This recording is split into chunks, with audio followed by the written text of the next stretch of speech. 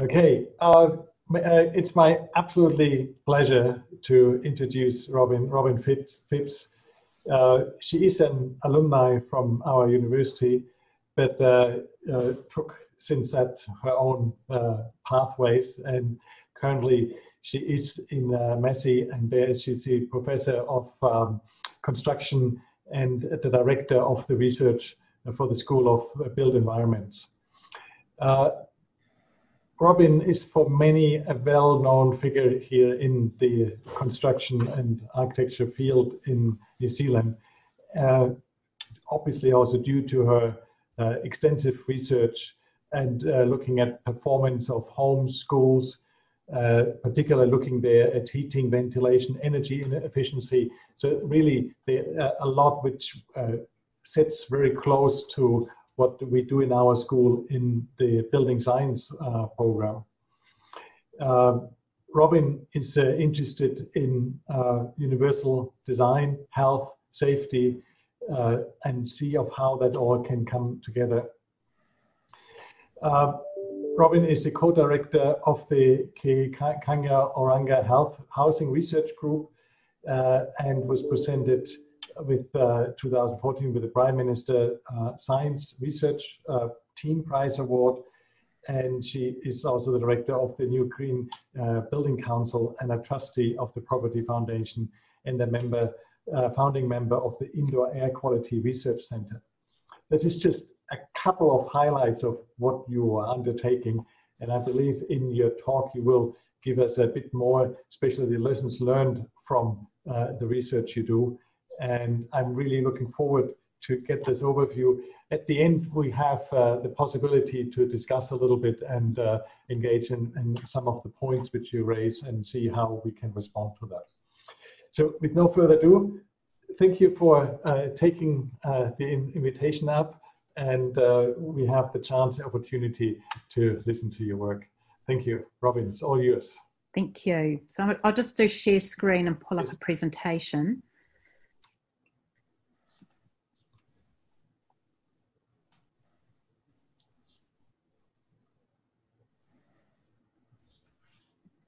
Oops. Sorry, this was here all a minute ago and it's disappeared. There we go. Is it sharing? Uh, not yet, not yet. Um,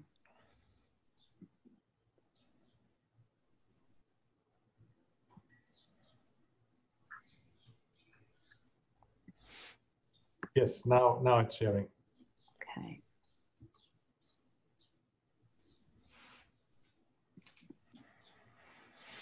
Yeah, perfect. It's now coming up. Wonderful. Okay. It's good. And can you all hear me loudly enough? I can hear you loud and clear. Okay. Um, well, thank you very much for the invitation to um, come and talk to the School of Architecture today.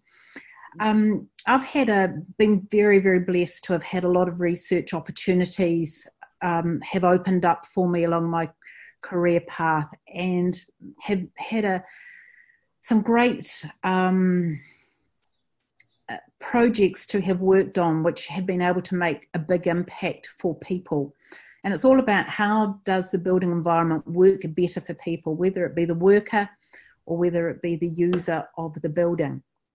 And here is just a couple of the the, the themes that we've been able to to do and i'm going to use the word we quite a bit because it's very much team research um, it's it's not an individual pursuit, and it's not just a Massey pursuit. It's it's very much um, cross institutional and um, with the CRIs such as NIWA and GNS. Um, the first study that I want to talk about is a reasonably old one, but there's some good lessons that came out of this. And so this was the, the Heating, Housing and Health Study. So it was a big study funded by the Health Research Council um, it was about a million dollar study. And it followed on from the work that the He Kainga Oranga had done looking at when we replaced the, um, an uninsulated home and gave them a little bit of insulation in the ceiling and subfloor. It had a huge impact on health. And so, but the homes were still too cold. They got one degree warmer, but still not up to the WHO standard of 18 degrees minimum. So the next step was to say, well, what happened if we put a little bit of heating into the home? Because we know that about 45% of New Zealand homes are too cold and they're too damp. And also, unflued gas heaters are used or were used in about 30% of New Zealand homes.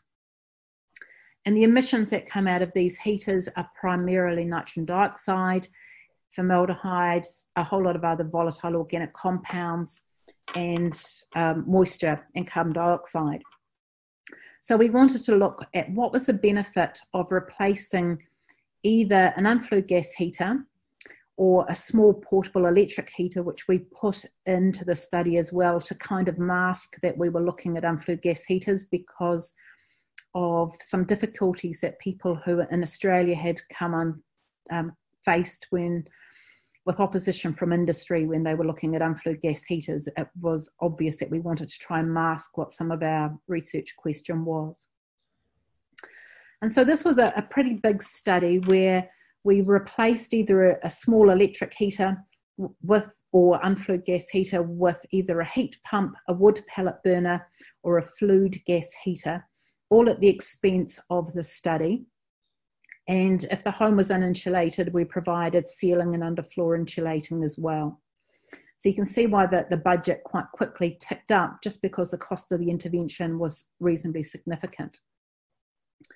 We had um, over 400 families, all with an asthmatic child, um, child between the ages 7 and 12, old enough they could blow into a picometer, but young enough that hopefully they weren't smoking.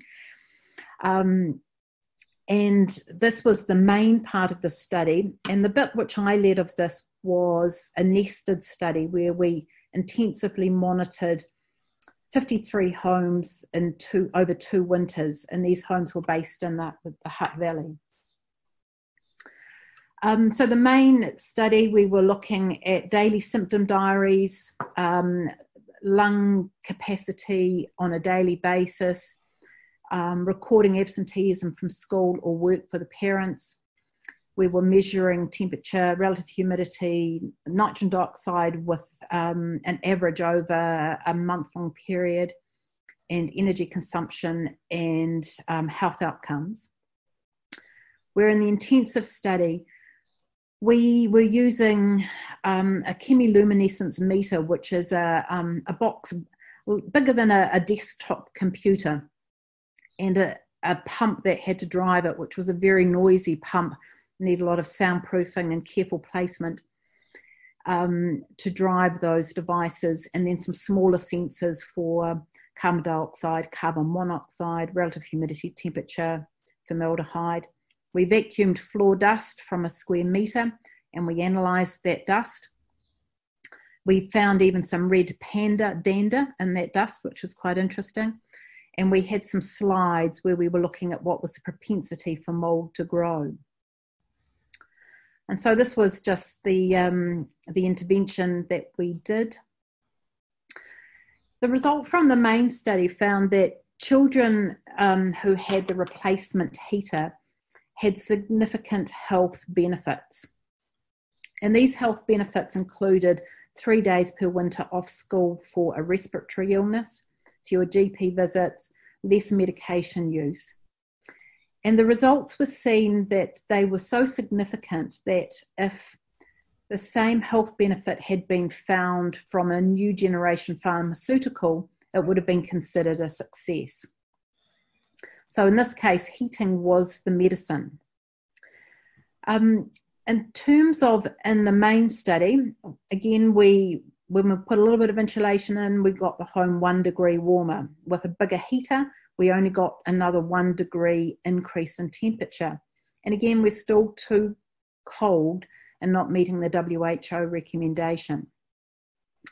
But possibly more significantly, there was a 5% drop in RH or a 6% drop in RH in the lounge room in these homes. And that reduced RH means less exposure to um, some of the byproducts of relative humidity, such as dust mites and mold. So, I mean, it could be that a lot of the benefit came from um, having a drier environment.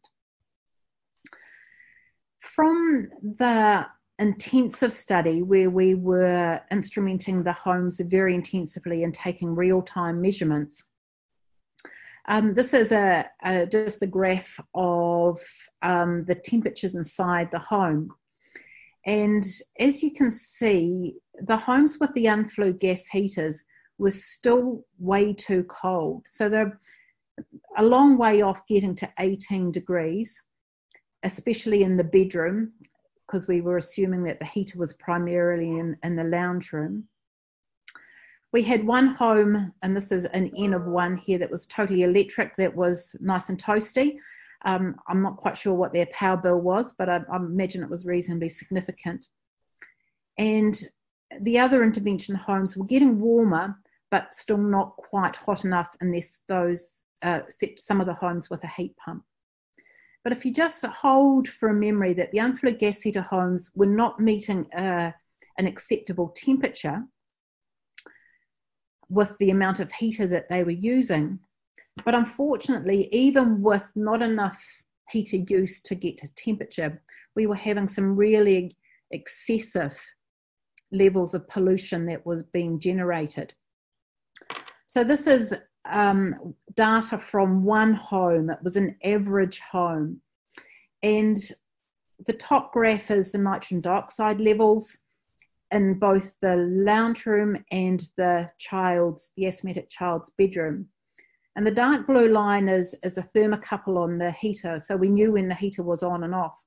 And what we can see is that as soon as the heater gets turned on, the nitrogen dioxide levels in both the lounge room and the bedroom shoot up.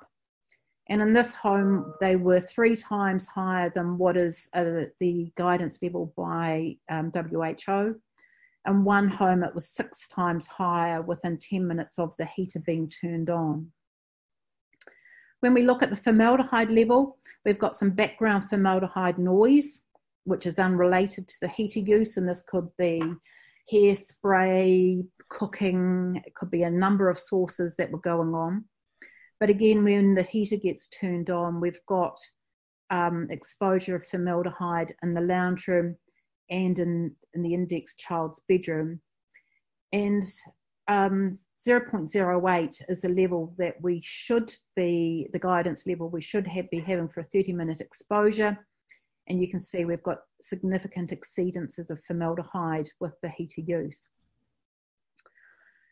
So what we found was that um, improving a heater um, was um, highly effective for a health outcome, and it also it was highly effective for removing pollutants from the home.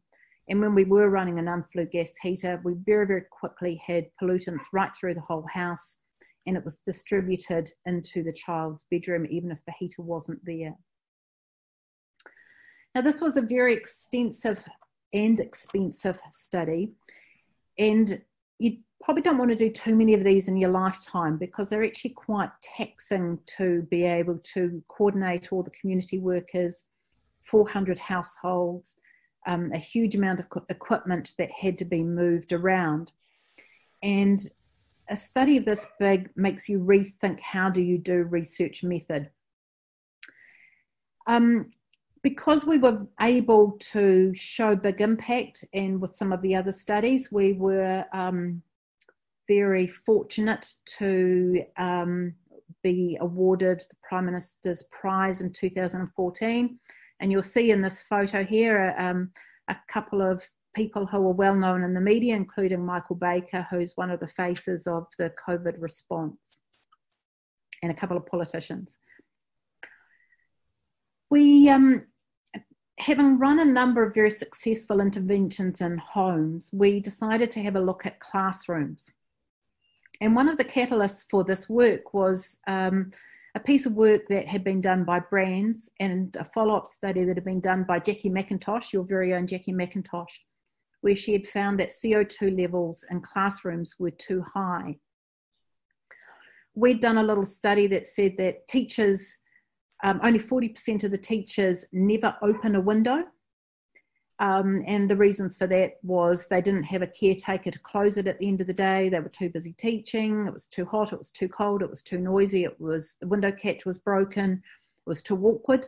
Um, so for 40% of classrooms never had any ventilation in the classroom, and an awful lot of teachers assumed that a heat pump was bringing in fresh air.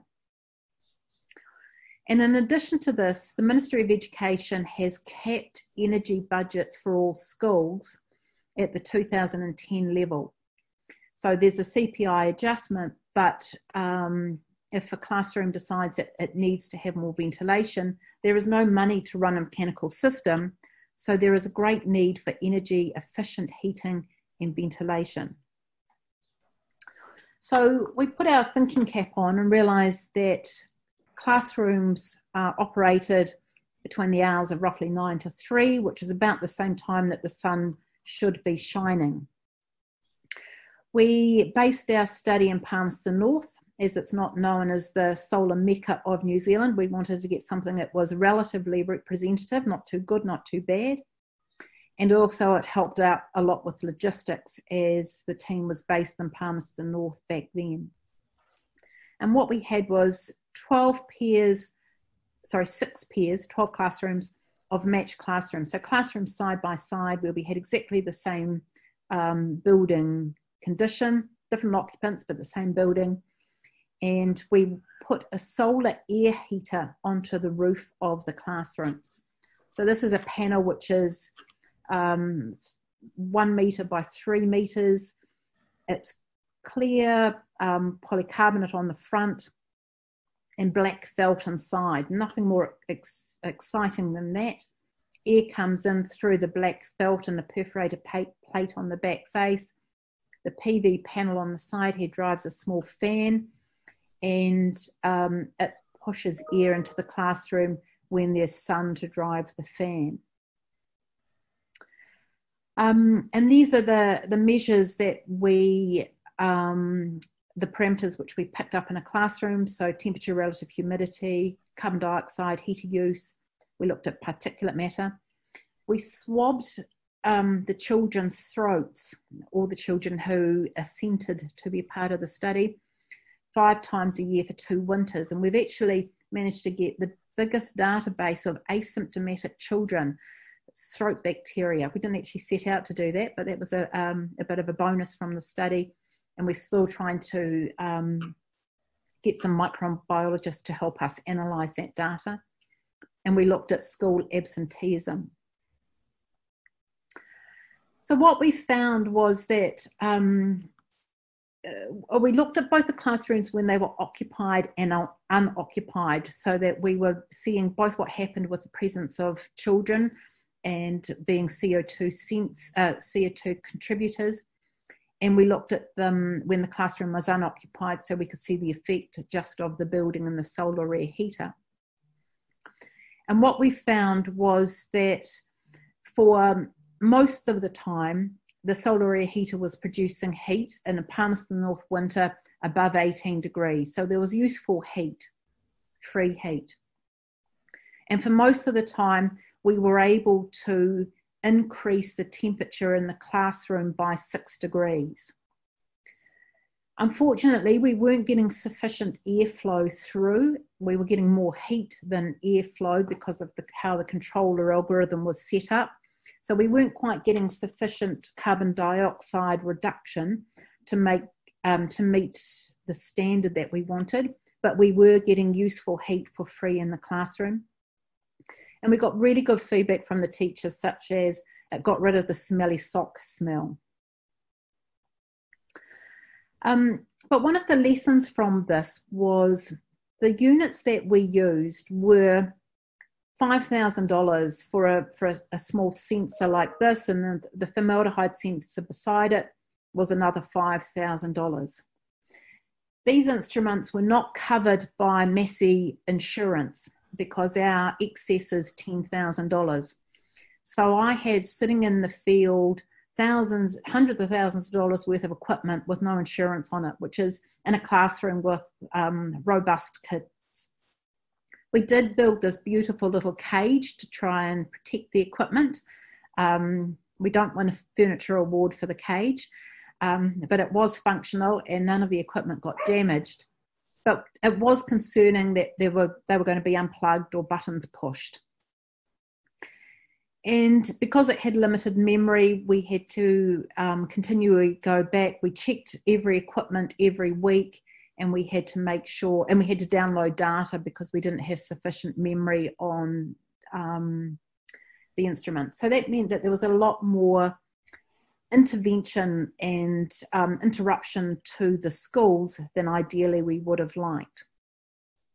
And so, this learning about difficulties with instrumentation led us on to another project, which I'll talk about in a moment, which is where we decided that how do we do it cheaper and smaller and with an internet of um, uh, capacity so that we actually don't need to go into the to the school to connect or collect the data. And so, working with computer scientists and product engineers and a whole bunch of people, we developed our own sensor for under $400. And so, this is, is, is almost as good as what we saw in the previous slide, but for a fraction of the price and it's internet connected. Also has a SD card for backup, but we can put these into a classroom and um, they can collect data for a year at a time without us needing to go back. And so we could also learn about occupant behavior and to give real time feedback to see how that worked. We developed another project which was funded by Curious Minds where we created what we the first one we created was we named Skimobo, which is a school monitoring box, and then we created Skimobo Plus, which has got a little screen which gives either a smiley face or a sad face, depending on what the conditions are in the classroom. And the idea of this was that it was going to prompt a teacher or classroom monitor to open a window or a door to bring in some fresh air and we created an educational program aimed at primary school children which we called science and a room in a box where they learned about carbon dioxide levels and, and how did it impact and condensation and a few basic science STEM tests on that. And, and we are still using these skimobos. So we have for two or for a whole year, we put the skimobos into 35 classrooms, mainly in the South Island. Um, and we ran those for a whole year to one to check on the performance of the Skimobo, but also to learn about baseline conditions in classrooms. And a surprise finding from that was that the CO2 levels were highest in summer. And the reason for this is that the teachers are shutting the windows, flicking on the heat pump, and keeping the classroom nice and cool, but rather cooked. Um, and so this is going to this is a, a surprise finding and um, we're talking to the ministry of education about this in terms of how do we now redesign a classroom so that we actually do bring in ventilation and cooling or ventilation and heating? Because this seems to be something that's not working at all well for classrooms at the moment. Um, building on from those current surveys, we've got some more PhD students uh, following on from this. One in particular is um, a very capable student, Lara Tuki, who is doing some work based on what does it actually mean to cognitive performance when the CO2 level goes too high. So we've purchased some EEGs um, which are little caps that you put on your head and they measure your brain waves. And from that, we can see what we can play with um, CO2 levels and see what is it performance change over some standardized tests. U was the, the student who did the solar air, pro, the solar air heater project that I talked about. And then we've got some other projects that are, um, are ongoing as well. Um, so there is a progression. Um, I mean, one of the big lessons that we learned was the need for instrumentation. because if we can bring the cost of the project down, it either means I can have more homes or classrooms that can be studied, and the logistics become significantly easier. And this had been a barrier um, in order to achieve funding to do studies. And the advent of um, commercially available EEG equipment. We've now bought some new stuff which has got eye tracking as well, so we can actually see what is happening to the student in terms of their eyes. Um, Ministry of Transport are also looking at this for driver fatigue. Um, so we've got some interesting work that's going to be able to come out of this where we can actually see what is the, the built environment or the enclosed environment doing for people and how do they perform in that space and cognitively. So that's a, just a couple of the projects that we've talked about. And um, I mean, I could go on for long, but I won't bore you with that. Um, so I'm happy to take some questions.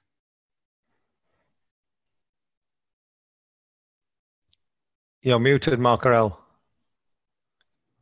Thank you very much. Um, that was a really nice um, overview and insight of uh, some of the projects you did. And I really like the um, direct outcome and the hands-on, uh, which trickles down to, to, to kids basically, right? So it, it really covers from the, the researcher and the really research aspect, but to end users which are not the typical end user or they're affected by what, what we do, but they le- they're learning about it and it gives them a pathway to understand where they are and, and actually what research is that was that was really quite fascinating to see um, really how how easy it is. I know it's not, but it it looks so you know approachable, accessible. Said, yep, I, that's nice. That's you know the, the how you how you structure and what you do that. I that is it's really enjoyable.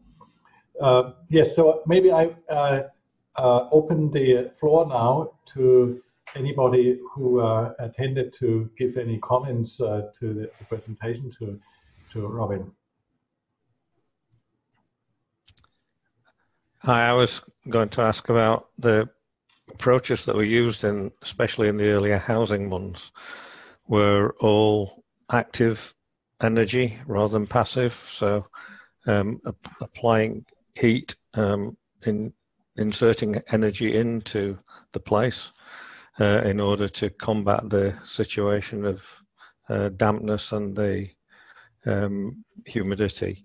Um, I just wonder what your thoughts were. I can see on this last slide carbon neutral and low energy buildings, but I'm used to the, from the UK of um, insulation thickness, uh, double glazing, draft sealing, and trickle vents as being um, the kind of fundamental ways of of dealing with this uh, in a contemporary way. Do you think there's a, a, positive movement in that direction and potential in, in New Zealand, both in housing and in schools? Um, absolutely. And we, we've got quite a bit of talk about this. So um, we do have a project that we um, were about to do field work on um, at the beginning of this year, but we have, for obvious reasons, um, not gone to the field yet, where we are selecting 50 or 25 homes that are built to code and 50 homes that are built above code. So these are either um, Homestar rated or super home or passive home and we will compare them, we will match them as closely as we can number of occupants, number of bedrooms, floor area, and geography um, to homes that are to the code. And we'll look at the energy use and the indoor performance in those homes. So that's a project that's meant to be happening. It's kind of stalled, um, but it will get back on track with that. So we've got one student who's looking at the performance of the homes and another student who's doing the analysis um, of looking at you know if you've gone for a passive home you might have more embodied energy in it but what does that mean over the life of the home so we've got two projects on that and we've got another student who's going to be optimizing solar air heaters so we, we weren't getting quite enough airflow through so let's see how do we actually get better heat exchange, heat absorption, um, so we can actually get better heat. So you absolutely right. Let's look at for new homes. What do we do to to build better? Dot once, dot right. Uh, okay. I, um, sorry, I should have said at the beginning. Really interesting talk, which it was. Um, but the uh, the other issue is a lot of existing homes have issues to do with um, uh, energy loss and mold and etc. Um, have you got um, kind of a uh, an easy checklist of these are the most effective things that we can do for the typical New Zealand home, if there is one, uh, um, that's suffering from these issues? So um, the top student here, Phoebe, was able to take the three BRANZ house condition surveys where there had been a lot of work done on measuring subjective mold and dampness, um, objective dampness, and housing um, parameters. And she has done a big study, a, a, quite a deep dive and analysis onto those factors to try and work out what were some of the um, inherent baddies. Um, maintenance was a, a, big one, subfloor dampness, um, and um, certain types of claddings came out worse than others in terms of where to go for improvement, um, you know, the obvious one ventilation is, is a, an easy win, and then improving windows seems to be the next most important. Um, we are trying to get funding at the moment for another study where we just replace windows. We were going to do that in some retirement village where they were going to do that anyway, and so we were going to monitor it and use it as a natural experiment. So one of the lessons I learned is you spend a lot of time chasing dollars. And if we can use a natural experiment, it's absolutely fantastic because then the intervention is paid and then all we need to achieve is the funding just for the, the research rather than having to pay um, fortune, you know, hundreds of thousands of dollars for um, the intervention as well. Um, so if we can achieve it where the um, windows are being replaced with um, double glazing with trickle vents, then we will be following that, that as a project. Okay, thanks. Well, I was um, wondering whether one can match actually health data, so uh, people getting sicknesses with the um, with your research around um, the, the the heat and the toxicity which is uh, admitted and so whether there is a relationship of general health of basically um, sick buildings, uh, I call that, and and normal building and and uh, buildings where we don't have that impact.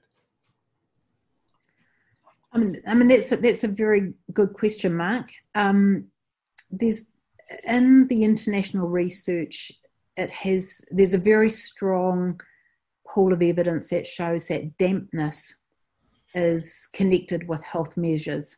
So, where there's been a lot of meta analysis done of big studies, they've been able to um, verify that dampness and health are linked. It, nobody to date has been able to um, prove that mold and health are linked but that could be a lot because of individual variability. It's just like one person can eat peanuts and the next person can't. Um, yeah. you know, we all have different susceptibilities to you know, in allergy levels to mold and things. So, so mold and health is not linked, right. but yeah. dampness is. But uh, you know, maybe it's not that direct link between the mold and so, but uh, also what you showed earlier with the heating about the the toxic PE and so on the, um, uh, when you switch on the heater, that one sees people who are in not substandard housing conditions have go more often to the doctor so it's that, that can be because their general health is not so fit but there is maybe a relationship between the environment they actually be exposed to all the time versus uh, and their health mm. Oh, and th- there's a lot of confounders in there, such as diet, access to healthcare, right. um, you know, and it's, it's, certainly not able to be a, a totally controlled experiment mm-hmm. because there there are so many other confounders. But which is why we do need to be able to have a big study so that those confounders get um, randomized across both the intervention and the control group. Right. Yeah. Mm-hmm. Yeah. Do we do you have any other comments from colleagues? Um, I have a little question. Yeah. Hello, Robyn. Lovely to see you, even if it is via Zoom. Um, uh, one of the elements that you have mentioned in the presentation was the increase of formaldehyde levels um, when the heaters were on. And uh, we spoke, I think, some years back about the fact that um, formaldehyde emissions are likely to be higher in New Zealand in summer months that are damp, like December, uh, simply because of the humidity relationship. So the heater and the increase of humidity could be the trigger for the increase of release of formaldehyde. Um, would that be your hypothesis for interpretation of that bit of data? Um, it was for one home. So there was one home, we, we had asked all the homes not to, um, we, we, had tried to filter out homes where they had any planned renovation work going on or recarpeting or anything that could be a formaldehyde source. One home did repaint um, in between, in the middle of our study, and their formaldehyde data was off the scale, so we did not include them um, in our analysis. I think that um, I mean, we tried to do another study where we actually had um, the unflued gas heater in a, we tried to put it in a chamber and just measure the emissions coming off the chamber. And um, we did find that quite a bit of it was generated just by the heater. Um, because obviously you want to, as you say, eliminate as many of the confounders that are in there. You turn up the heat and, and you're going to get um, you know, formaldehyde coming out of some other material. We didn't see the formaldehyde increase with the other heater types. It was with the unflued gas heater, and when we did a, a small test in a chamber, we took one of the worst heaters. We had one heater which was probably about 20 years old, and um, the occupants donated it to us at the end of their study. And we actually tested that in a, in a sealed room, and we found that there were some really terrible things coming off that. Yeah. So it's a, it is a combination. And in terms of looking forwards, um, um, a lot of this sort of stuff, especially what Marc was asking about uh, um, health impacts, I know how difficult it is to quantify anything in the area that, that we're both exploring.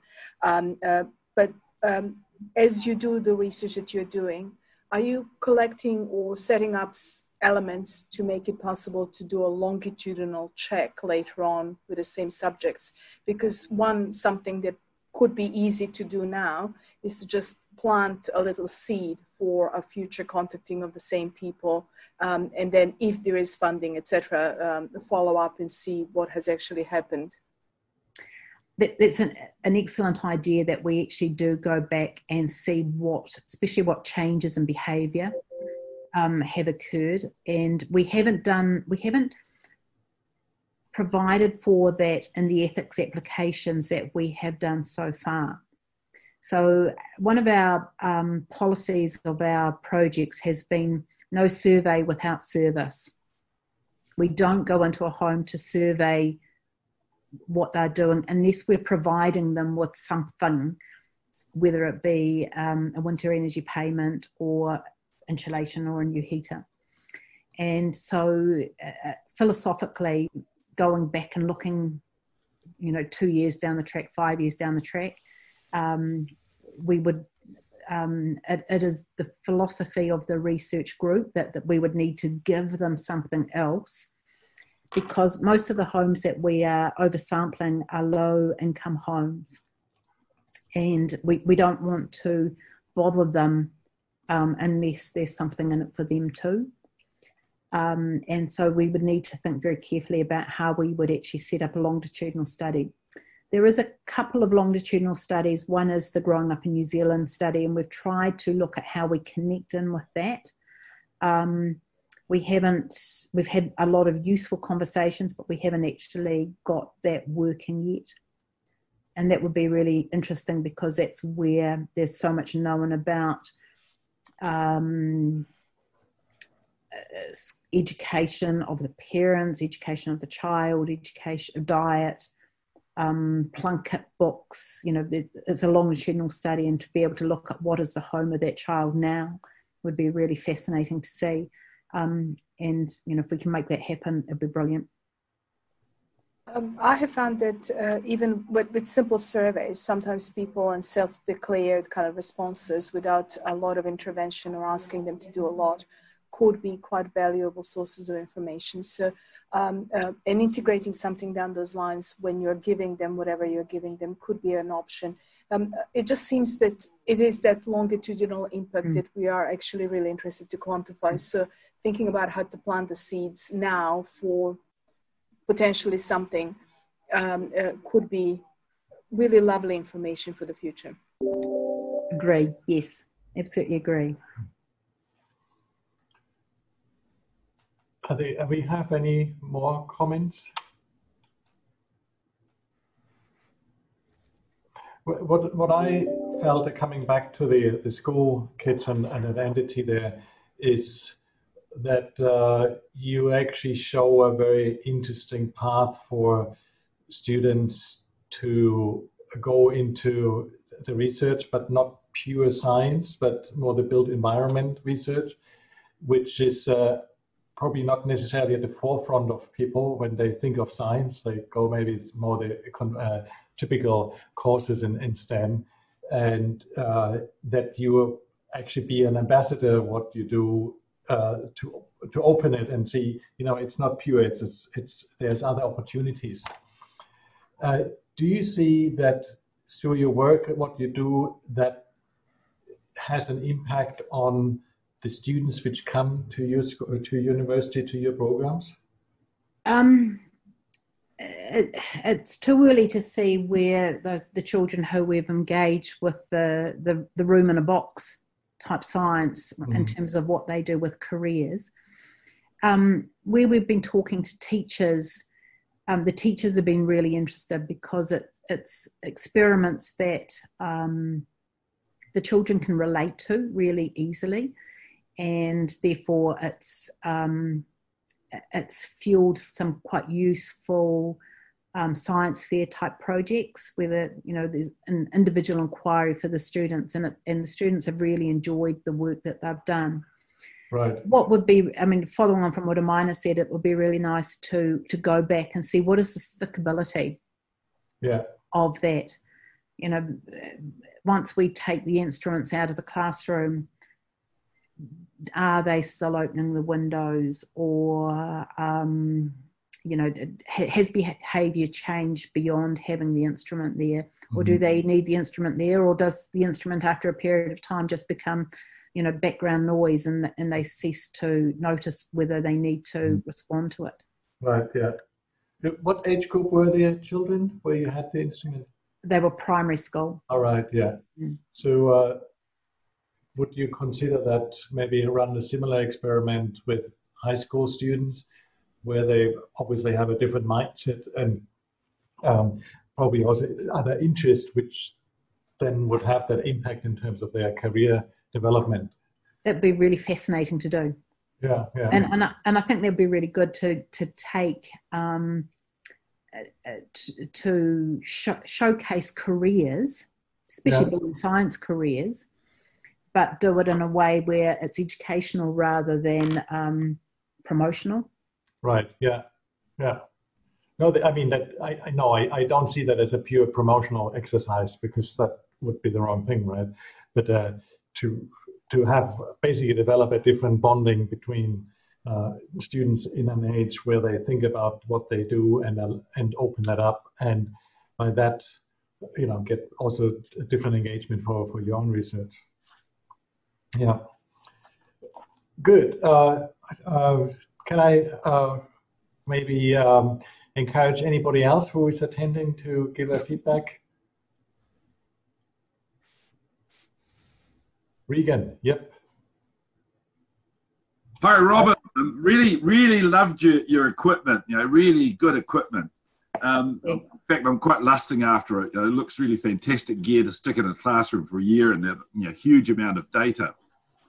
But uh, and particularly the um, the headset because I can see why you've done that because while we're looking at the uh, indoor environmental quality, really in a school we're trying to figure out how does that connect to the to the outcomes for for students. So I can sort of see why you put the that that piece of headgear onto you know that student and you're measuring. You know, Lara's doing the study to see what the connection between indoor environmental quality and and outcomes is. But at the same time, I wonder whether there are other issues, other socio-economic issues that are impacting. And while they're young students, that may not be an issue. But I wondered whether you know the other issues that are happening around them you know well covid being one perhaps mm-hmm. possibly but you know the economic situation if you're in a lower decile school than you would be in a higher decile school i know i'm probably treading on unsafe ground by talking about you know decile schools in that way but um, those schools that are economically more endowed than those that aren't that the economic and the social factors may actually outweigh the um, environmental ones. Any any sort of do you have any sense of, of that in the work that you've done thus far? Um, what what we've found is that the lower decile schools were um, we targeted lower decile schools for the solar air heater study, and um, all the schools that we went to were decile um, below decile four, apart from one school which was a decile five.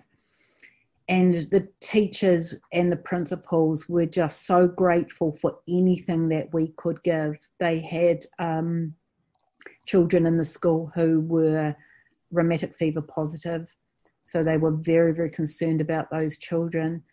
Um, and, and one of the things we did with all the throat swabs was we had a community nurse who was testing all the children, and or nearly all the children, in, in a class and regardless um, of whether the child self reported a sore throat, they had a follow up if they were strep positive.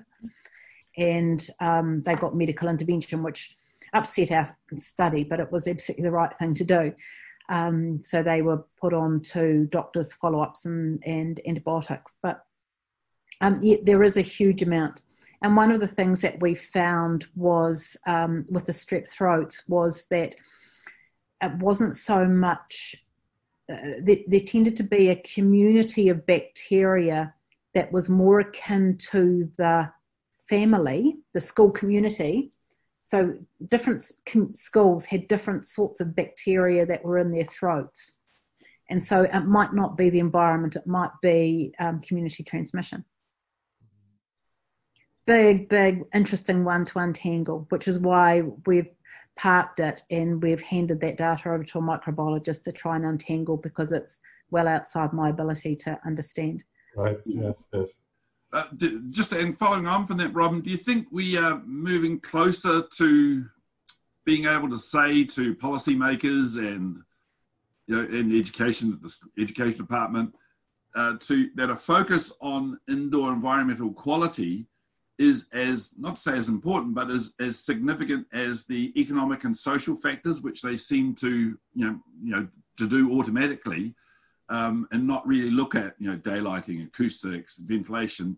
Do you think we're getting closer to a point where we can say that the you know, indoor environmental quality issues are as valid as the social and economic ones that are happening outside?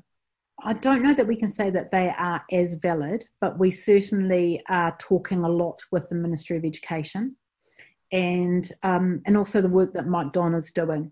So Mike Donn and Inkley, is it, um, have been doing some really good work in classrooms as well. And um, you know, we we actually have a um, Mike and um, or the Vic team and, and Massey team will be presenting a webinar for the Association of Learning Environments, in Australasian one, in 22nd of September, which is a really interesting association because there are both researchers and principals and teachers and um, sort of and the ministries who are all there who are looking at what is the impact of the built environment on education. So, I mean, it's a, it's a, the dialogue is happening. I think we've got a long way to go, a very long way to go, but it's nice to have the door open in the engagement. Right. Yeah. Good. Um, I think we have to wrap it up at this point. Um, there is another presentation coming at one o'clock, and we have to sort of hand over things. And I uh, want to give you also a chance to now go to go to lunch. I really appreciate that you uh, invested your time, that you shared the project with you with us. I'm actually now really intrigued to see all the things which you have, and I hope that uh, when the lockdown is down and you come back uh, to Wellington and have the opportunity that you maybe uh, have a little show and tell session about the, the, work which you have, so that we can and you uh, similarly playful engage with your research, and uh, that we can have a, a, further discussion around that. Would love to. Yeah, Be my pleasure. Yeah, Thank so you let very us much. know let us know when you uh, you know if uh, once you come back here and have a bit time then we can sit together. That would be lovely. Okay so i bring the session to a, to a close. Thank you uh, becky. Becky is uh, actually managing this whole uh, atrium talk session. She's now online. I uh, appreciate everybody coming and joining. Thanks for the comments and feedback which we heard. And i hope i see you now in the next talk or in any other occasion. And Robyn, definitely, you know, sooner or later. Thank you very much.